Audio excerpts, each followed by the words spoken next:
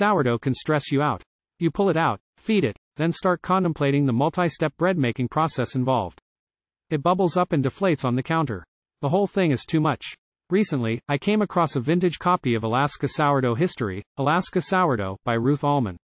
It reminded me baking with unfed or scratch sourdough as a flavor, rather than a leavening agent, was really common in Alaska.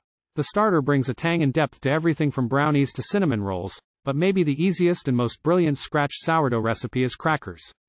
The sourdough cracker is so addictively delicious, like a lighter Cheez-It without cheese.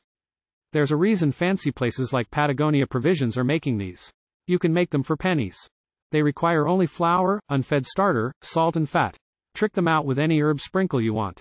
I use melted salted butter, though you can substitute olive oil or vegan butter and they'll work fine.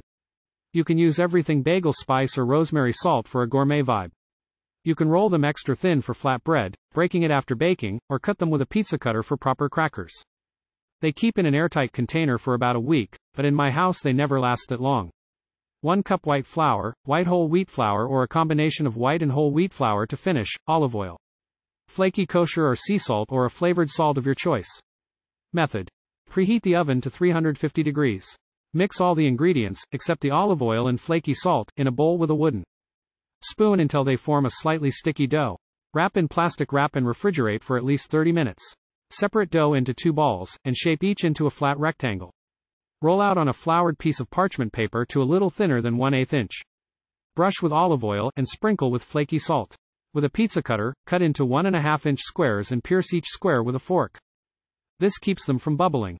Remove the ragged edges. You can re-roll them out. Lift parchment with the crackers on it onto a baking sheet.